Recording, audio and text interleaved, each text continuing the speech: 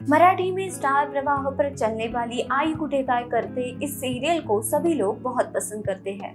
इस सीरियल ने अपनी कहानी और अभिनेताओं के कारण दर्शकों के मन में जगह बना ली है। अब सीरियल में यश और गौरी के रिश्ते में एक बड़ा ट्विस्ट आने वाला है।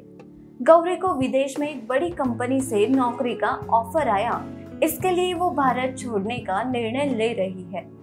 तो अब यश और गौरी के रिश्ते को एक बड़ी चुनौती का सामना करना पड़ेगा। सीरियल के नेक्स्ट एपिसोड में हमें देखने को मिलेगा कि गौरी दुखी होती है।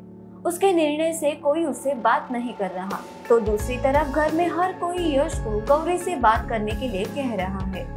लेकिन अनिरुद्ध उसे ऐसा करने से रोकता है और गौरी को विदेश जाने की सलाह देता है। वही संजना गौरी को जाके, वो तुमसे प्यार करता है तो वो तुम्हारे साथ विदेश आएगा, ऐसा कह देती है। अब यश और गौरी क्या फैसला लेंगे, ये देखना बहुत ही इंटरेस्टिंग होगा। इसके लिए आप भी देखना ना भूलिए, आई कुठे काय करते स्टार प्रवाह पर। तो आपको ये वीडियो कैसा लगा, ये कमेंट सेक्शन में ज़रूर बताइए। और हमारे चैनल को लाइक शेयर और सब्सक्राइब कीजिए।